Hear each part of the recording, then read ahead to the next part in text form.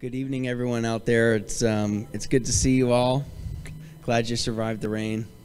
To come on in. You know, when I lived in Barbados and in the island, I lived there for nine months, and when it would rain, no one would do anything. No one would get out of their house, and when they, they would, if they had to go to their car, they would put their hand over their head uh, because of the rain. It was like they would melt or something. But you all are hardy New Englanders, aren't you? Rain is going to hold you back. It's great to uh, great to see everybody. If you're a guest, welcome to Forestdale Church. My name is Ethan. I'm the pastor here, and um, want to point out that this Wednesday night we have our members meeting. And on the back table by the treats, you'll see an agenda for our meeting. So you see a couple bullet points that we're going to go over at our members meeting. It'll be right here in the church at 6:30 on Wednesday night. We won't be voting on anything, but we will be catching up on a lot, and so it'll be a good way to keep updated with what is going on. We'll have a time of, of Q&A. If you have any questions or concerns or any encouragements, anything you'd like to share with the church members and the elders, um, just let us know, and we'll be happy to discuss anything that's on your mind. But also, we want to celebrate. We want to take this time as, as members to celebrate the Lord's faithfulness and His goodness to us, to carrying us through to get to another members meeting. Uh, from you know, we just in the last from you look at the last members meeting we had all this time since then. How much has happened, and how many good things has the Lord given and shown to us? Um, we want to celebrate those things together as a church family. If you're not a member, you're actually welcome to come to those meetings. Chuck will make sure you're quiet, though. No, I'm just joking. You're, you're, you're welcome to attend and participate with us. Yes, yeah. Um, we have uh, offering plates in the back. We don't pass plates during the service, but um, we do collect tithes and offerings and gifts that people give. Um, you can place any tithes or offerings you have in the back. Along with those, you can also place a prayer card. If you have a prayer request, something that's on your heart, please let us know. Uh, we're a church of prayer. We love praying. I love praying and um, I have uh, I write things down when I'm in my office, and I think about what concerns are there in the church right now that I can start my day and just give them to God. You get on that list when you turn in a prayer card, so please uh, give me an excuse uh, to pray for you, big or small uh, things. Thank you so much for those who do give to our church. There's three ways you can give. You can do all three ways too if you want, or you can just pick one. You can give uh, in person here, cash or check. Uh, you can mail a gift to the church or you can give online. If you go on our website, you can find the, the link there to give. So thank you so much for those who give and for um, keeping the lights on, keeping staff here, and keeping our ministry going out to our community. Well, let's take a moment now just to quiet our hearts before the Lord. Uh, we see this every week uh, God's call to worship on all creation to come and to worship him, to see him in his glory. You know, we all come to church for different reasons, but we're reminded of the one reason that we actually are supposed to be here, and it's to glorify God. So, in a way, sometimes we need to repent. We need to repent at this time to say, God, I came here for different reasons that actually aren't the reason that I ought to be here, and that's to glorify you, to see your glory as your word proclaims it, and to be transformed by it when we hear from you. So, let us quiet our hearts now before the Lord to prepare ourselves to respond to his call to worship.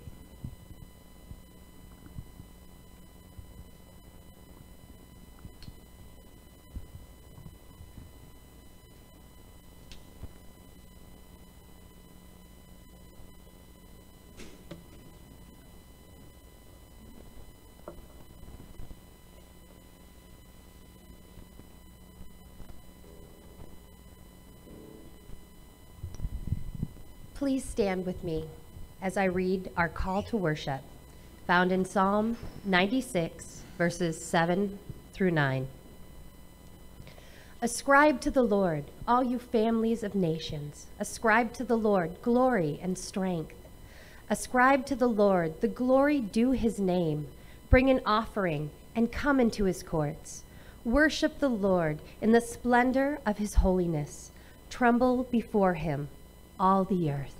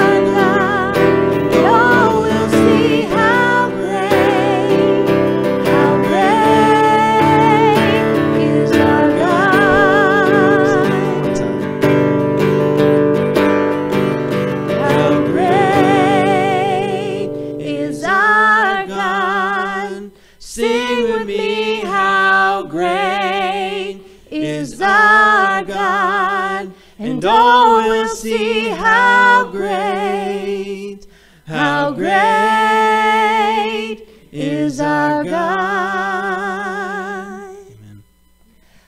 Father God, you are truly a great and mighty God. We are so honored that we can come to you and just praise you and to open our hearts to you and to lift our hands to you. You are just mighty and sovereign in all things. And we are just so grateful that you love us and that you choose us and that we can come before you and cry out to you, Abba, Father, Lord, that we know the sweetness of being called your child and how blessed we are to just be able to come into your holy presence. Tis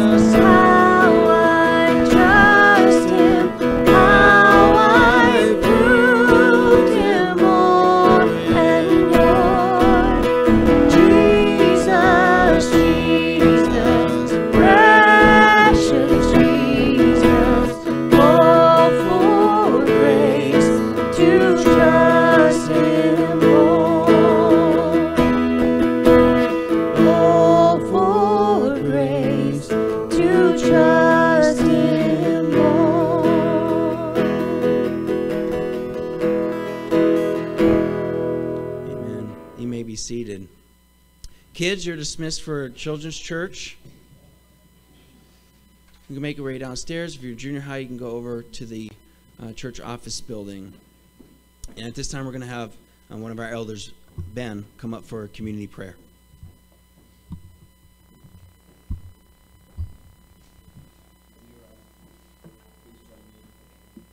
There we go. Will you please join me in prayer?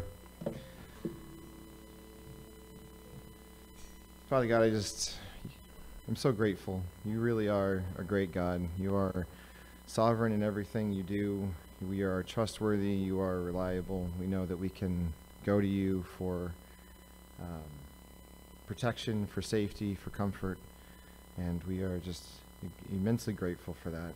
We thank you for all the ways that you've blessed us. We thank you that we're able to join together um, publicly without fear and be able to worship you and to sing songs and to read from your book and to just share with one another the things that you've been doing in our lives. We thank you that we don't have to be afraid or concerned or we're just grateful that we can do these things and that you've given us the, the place and a country that lets us do these things. And for that, we're very grateful. And for some reason, you have chosen us, a bunch of broken people who make mistakes, people who rebel against you on a regular basis. Um, we just, we're overwhelmed with your grace and your, your mercy that you've shown us. Lord, I just want to lift up a couple of groups of people. I want to lift up uh, first responders. Lord, I pray that you'll just be with them as they go about doing the things that uh, that they've been called to do, uh, saving lives and putting themselves at risk for other people's sake. Also, want to lift up uh, the missionaries that we support, uh, both overseas and here at home. I pray that you will uh, bless them and keep them safe, but not keep not, but not keep them safe at the expense of the gospel. I pray you just be with us tonight, and you will open our hearts and our minds to what Ethan has to say. I pray that you will uh, give him boldness and a desire to uh, speak the truth, and that he will deliver it with, uh, with the, the passion that you've given him. I ask all these things in your name. Amen. We're going to be reading out of Psalms uh, chapter 1 and through the entire thing. Beginning verse 1 it says, Blessed is the one who does not walk in step with the wicked, or stand in the way that sinners take, or sit in the company of mockers, but whose delight it, it is in the law of the Lord, and who meditates on his law day and night. That person is like a tree planted by streams of water, which yields its fruit in season and whose leaf does not wither. Whatever they do prospers. Not so the wicked. They are like chaff that the wind blows away. Therefore, the wicked will not stand in the judgment, nor sinners in the assembly of the righteous. For the Lord watches over the way of the righteous, but the way of the wicked leads to destruction.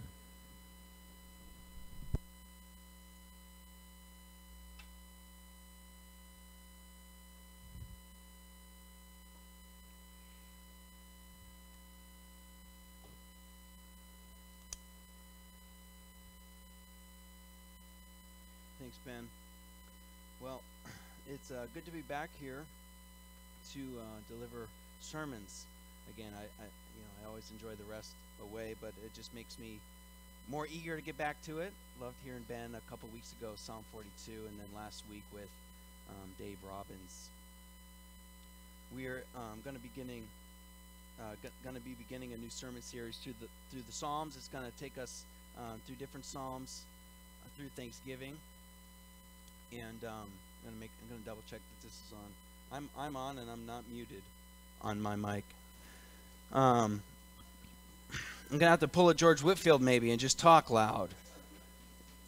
So uh, we want to think about uh, prayer as we uh, lead into the Christmas season beforehand. I mean, I think that's a great fall thing. Um, gratitude, prayer, thankfulness. prayers can be known as um, just conversing with God, having conversation with, talking to God. But there's nothing more awkward than hearing crickets in a conversation, is there? Being with someone you don't really know that well and struggling to find something to say. Do you ever wonder what those crickets are saying as they're watching you two? They're saying, "Gee, this is this is this is difficult." This is brutal. That's what they're saying to each other as they're watching you, finding it hard to come up with something to say to this other person. Why? Why is clumsy conversation so awkward?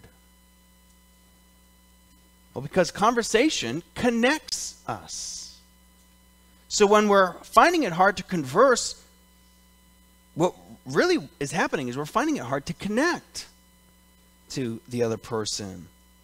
In the past, I felt this way in conversation, talking to my father in law, or talking to a girl in high school, or maybe trying to find a, a, way to talk to somebody that I really admired that I never thought I would actually be able to talk to and meets.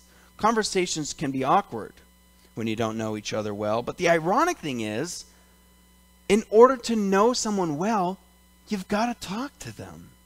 You've got to have conversation. The best of friends are the ones who talk the most. The worst of friends are the ones who have stopped talking long ago. Yet there's still more to it than that. For example, just because you talk a lot to somebody doesn't mean you're close to them. It's called talking past someone, using them as a listening portal. Just because you like to talk a lot and you need to get your fix, all the while never connecting with the actual person that you're talking to. Because you're, well, you're really not talking to them, you're talking past them. You have no concern for them personally or their ideas or what they might say if they had a second to say something. Only for yourself. Your purpose is simply to say what you want to say. So it's not merely talking that connects us, but conversation. The Christian practice of prayer can be simply defined as conversing with God.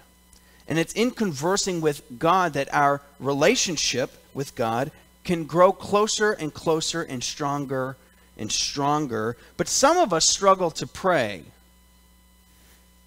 because we don't know God that well. Others of us struggle to pray because we don't really know what to say. Others of us think we're close to God because we talk to Him all the time, all the while actually never connecting to Him because we're not really talking to Him, we're talking past Him. So when it comes to connecting with God in conversation, how should we pray?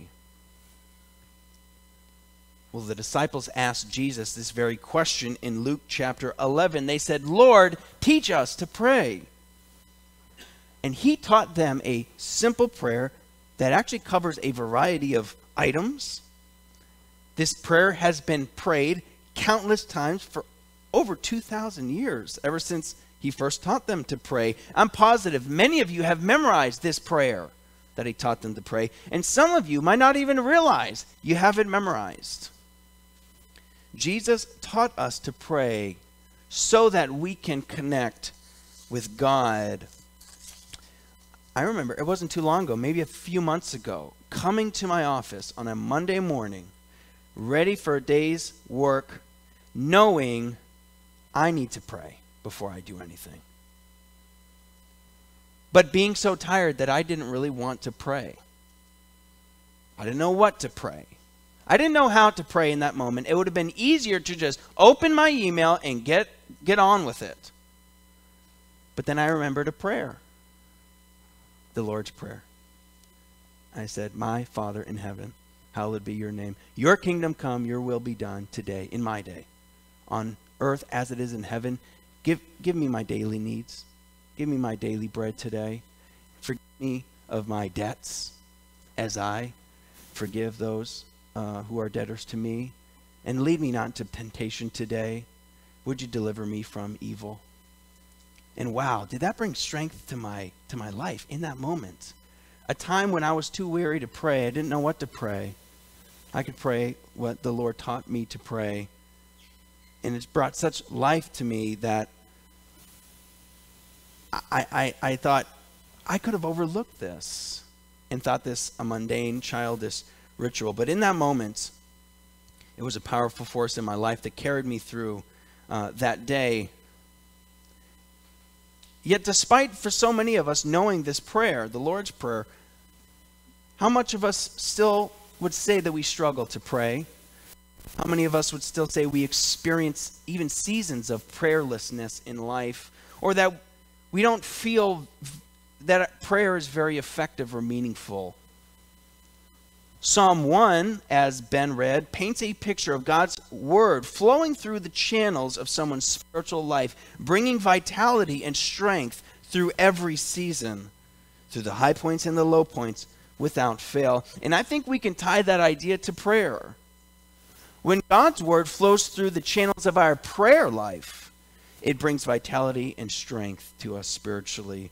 So, for the next six weeks, we're going to be in the Psalms. Today is going to be an overview sermon of prayer and the Psalms in general. So, forgive me for not expounding Psalm 1 uh, the rest of uh, this sermon. But for the next five sermons, we'll look at one particular psalm, dig into it, and see how it actually teaches us how to pray the Lord's Prayer. Jesus taught us what to pray. The Psalms show us how to pray.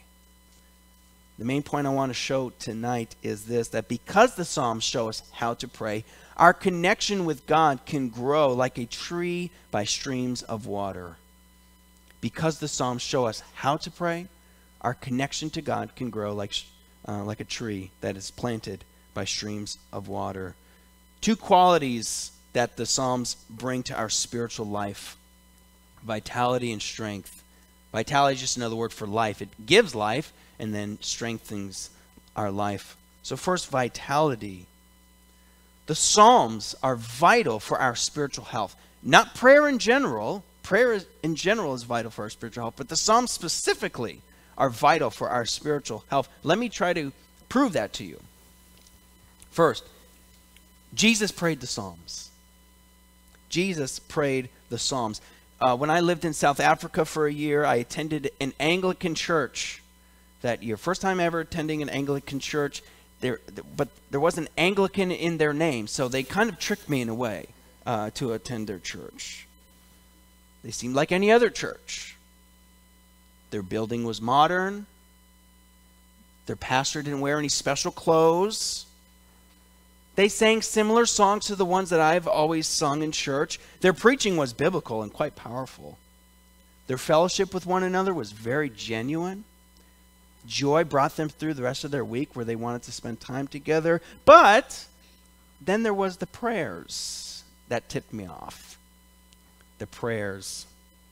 Each Sunday, we would pray a prayer of confession. And I mean that literally. The church would pray a prayer of confession that was on the screen. We'd all say it out loud together in unison.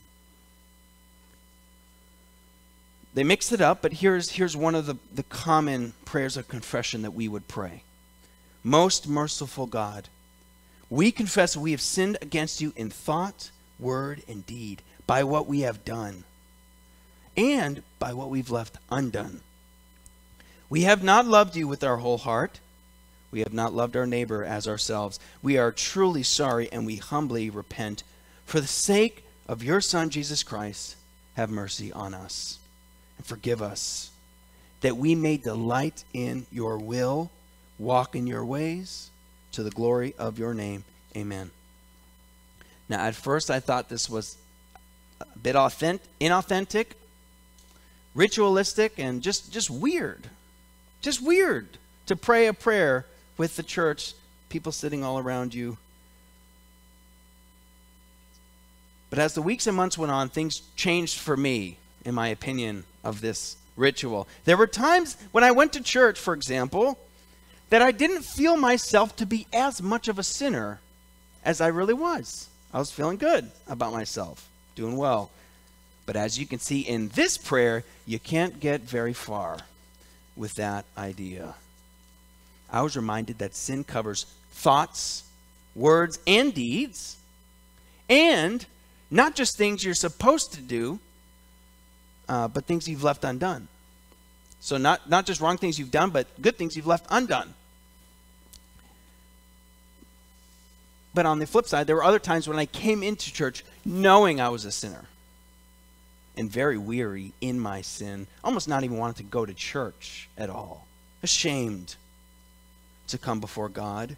Perhaps I hadn't even been praying in my private life because of my shame. But of course, I didn't have a choice of whether or not to pray when I went to church. The prayer of confession was coming up. We all would say it together.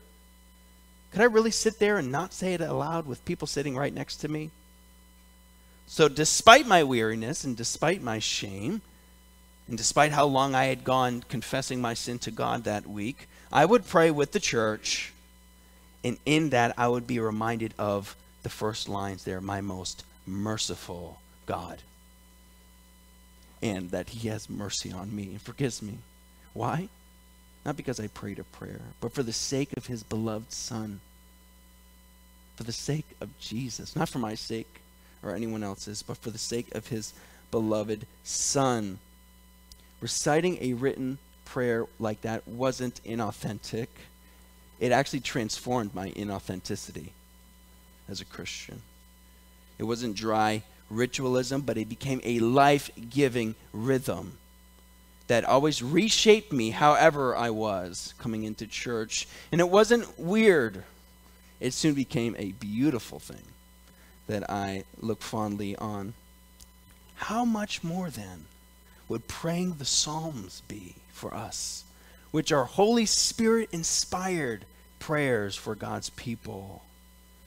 It should be no wonder that Jesus prayed the Psalms as his own prayers. Praying the Psalms was a lifeline for his soul, carrying him through the darkest moments of his life on the cross. The Gospel of Matthew records Jesus praying Psalm 22 My God, my God, why have you forsaken me? And his final words before death was a quote, wasn't even his own words. It was a quote from the Psalms, as Luke records Father, into your hands I commit my spirit. Psalm 31 5. Imagine going that way. Imagine that's the way you go. Psalm 31 5. In one sense, you can view this sermon series then that we're going to be in on the Psalms as a sermon series on how to be more like Jesus. Because Jesus prayed the Psalms. How much more should we? What transformation in life and beauty might we find when we do? But second, the Psalms point to Jesus. Jesus prayed the Psalms, but the, and the Psalms point to Jesus. It's another reason why I believe the Psalms are vital for our spiritual life.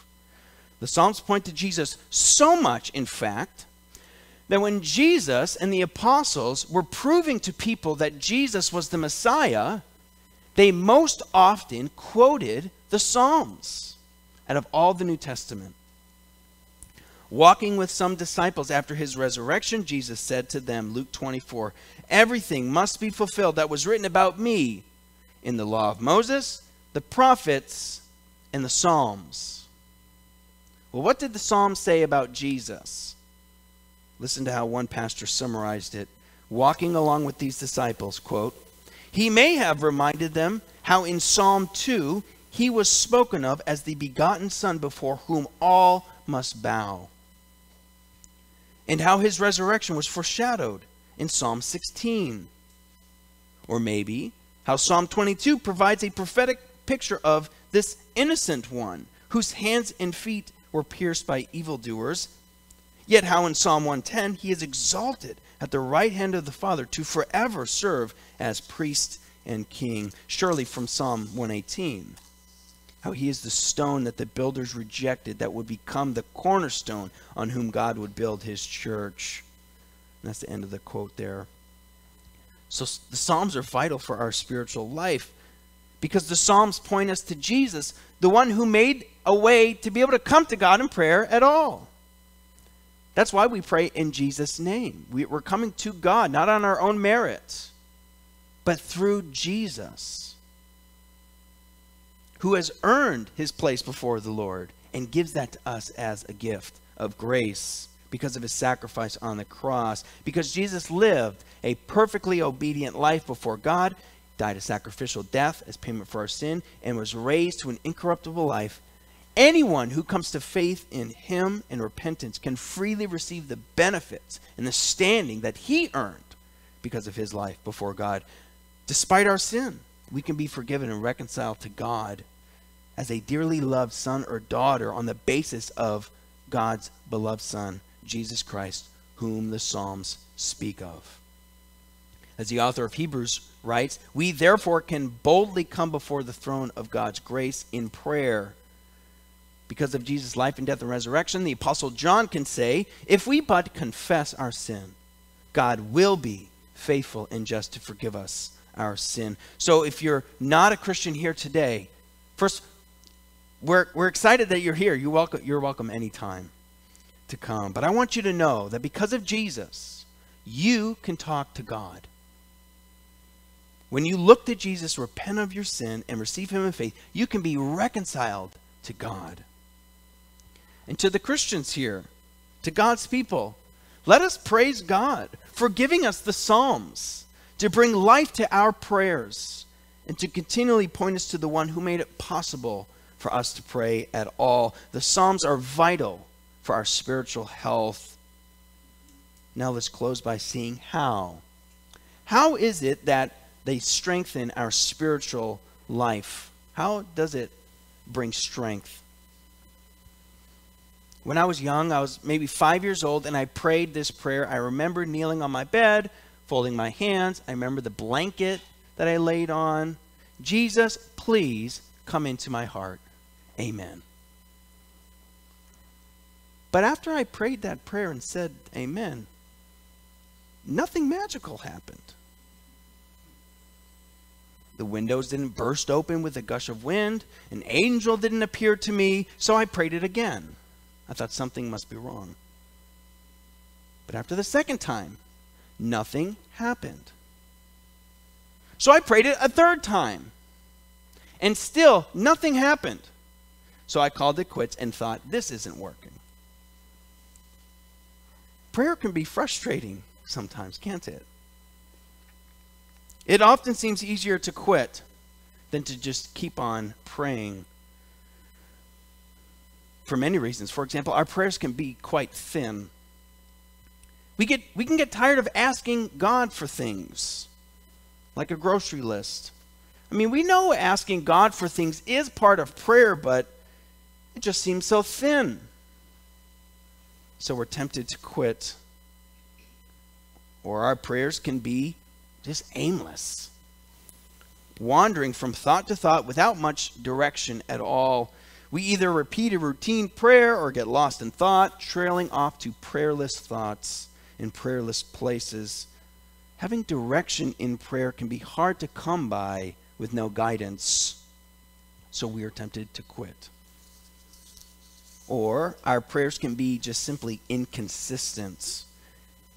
They become a sporadic moment here and there rather than a habit that we practice all the time. They become a place we go for emergencies only rather than a place we visit regularly. For many of us, we only remember to pray when we're desperate or afraid. So, feeling the guilt of inconsistency, it just seems easier just to quit praying altogether. But again, let us thank God for giving us the Psalms to teach us and lead us in prayer despite our reasons to want to quit. They lead our prayers to greater maturity, profoundly strengthening our spiritual life. Here's just three ways that they do that. There are many more, but three ways the Psalms strengthen our spiritual life and give us the strength to keep praying. First, fullness. Have you ever heard somebody else pray and thought, oh, man, I wish I could pray like that? They seem so spiritual. They seem like they really know God. How do they get that way? Well, when we pray along with the Psalms, we don't have that problem. We're not limited by our personal emotional makeup or our personal experience in depth and years praying. In order to have a rich and full prayer life, when we pray with the Psalms, for example, if you feel exhausted by the cares of life, pray Psalm 42. Ben preached it a couple weeks ago. As the deer pants for streams of water, so my soul pants for you, my God. My soul thirsts for God, for the living God. Why, my soul, are you downcast? Why so disturbed within me? Put your hope in God, for I will yet praise him, my Savior and my God. Did you know you can even pray if you feel rejected by the Lord? Psalm 94 Blessed is the one you discipline, Lord, the one you teach from your law. You grant them relief from days of trouble till a pit is dug for the wicked. For the Lord will not reject his people, he will never forsake his inheritance. By the way, you are the inheritance that he will never forsake. What about if joy is hidden from you? and you don't have any praise for the Lord on your heart, Psalm 36, 136 won't let you get away with that. It will put praise for the Lord on your lips. Give thanks to the Lord, for he is good. You know it. His love endures forever. And it keeps this uh, re- resounding praise for the Lord. To him who alone does great wonders, his love endures forever. And keeps going on and on. What about if you feel too embarrassed or ashamed to come before the Lord in prayer? Well, Psalm 40, Psalm 145 will rebuke you. And say, How dare you, child of God, be ashamed to come to your Father? Psalm 145, 8. Because the Lord is gracious and compassionate, slow to anger, rich in love. So, we are not limited by our emotional makeup or personality or experience praying when we pray with the Psalms. Second, Psalms give us direction. Have you ever felt this way about prayers? Uh, my prayers seem so thin and clumsy. I don't really know what to pray or where I'm going. When I pray, I often get stuck praying the same shallow routine of prayer or get lost in other thoughts. By the way, this is very autobiographical. Um, I'm just letting you know, like, just how I feel. I, I, I didn't get any um, special insights from one of you. This is just a human problem. I get lost in other thoughts when I pray. I, lose direction. I feel aimless. Not so when we pray with the Psalms. The Psalms direct our prayer life. We're guided in prayer, despite the social awkwardness of talking with a God we may not know that well. Remember Romans 8:26. The Spirit helps us in our weaknesses when we do not know what we ought to pray for. The Spirit Himself intercedes for us. Perhaps it could be one way the Spirit does that is by leading us in prayer through His own Spirit inspired Psalms that He's given for His people. One uh, constructive thing that marriage has brought to my life is having a wife direct me to relate to others in a way that I would otherwise overlook. Whether it's to reach out to someone on a special day, or to thank someone for something they did, or to ask uh, a new acquaintance better questions. The fact is, without my wife's direction, I would have never thought to say those things. The Psalms direct our prayer life. Rather than searching for a particular type of psalm to pray, just pray the next one. And you will often say, I would have never thought to say that.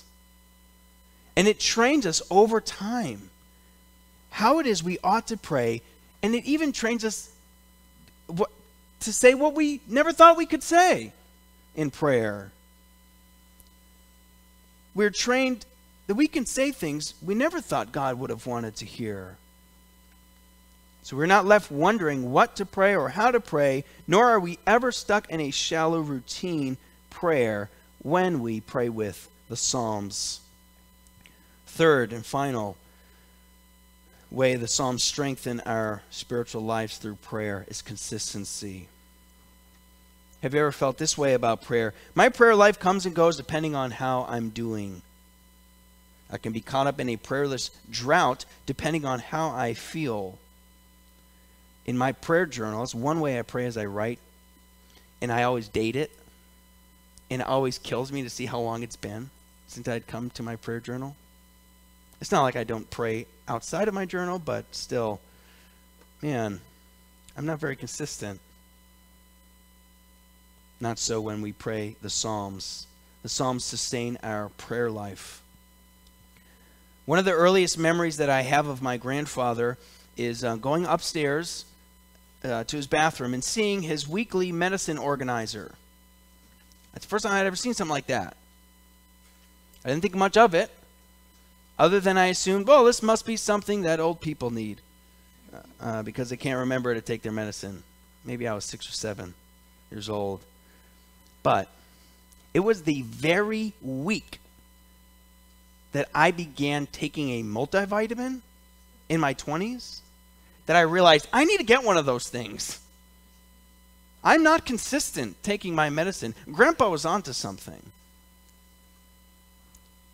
The Psalms are like a medicine organizer for your life.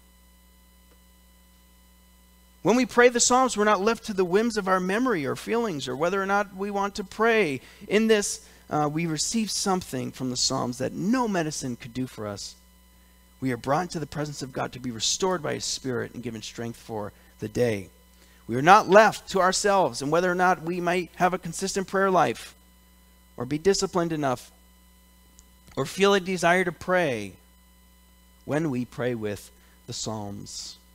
So thanks be to God for giving us the Psalms. Amen. As they bring vitality and strength to our spiritual lives. We're not left to ourselves when it comes to praying to God. Jesus himself leads us in prayer by example to come to these streams of water as they turn uh, us back in faith to him as our Savior. So, for the next five weeks, we're going to look at a different chapter of the Psalms and how that actually helps us pray a particular line of the Lord's Prayer as an example. But let's close together, just praying together. Psalm 34. So let's read this together as, as our prayer as we close. Psalm 34. Let's read it together. I will extol the Lord at all times. His praise will always be on my lips. I will glory in the Lord.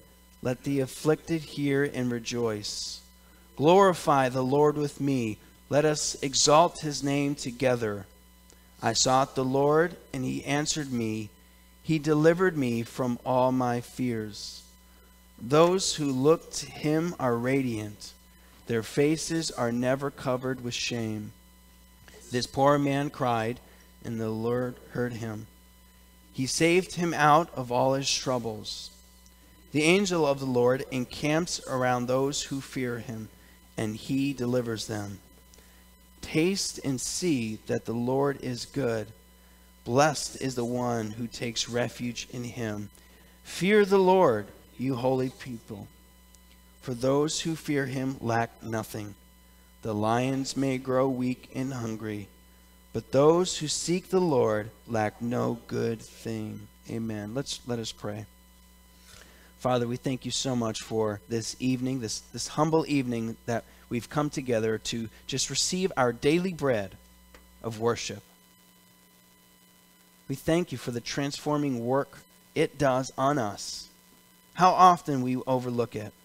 How often we underestimate when your people gather together for worship. May this become a habit for our life, and may this uh, lead us into a week of prayer, depending on you for all good things. And thank you so much for giving us the Psalms to lead us in prayer, to walk us by the hand through the richness and the depths of prayer. Thank you for Christ, for sending him to reconcile us to yourself for him leading us in an example, not just as a formality, but something that he really depended on himself. We pray this all through Christ. Amen.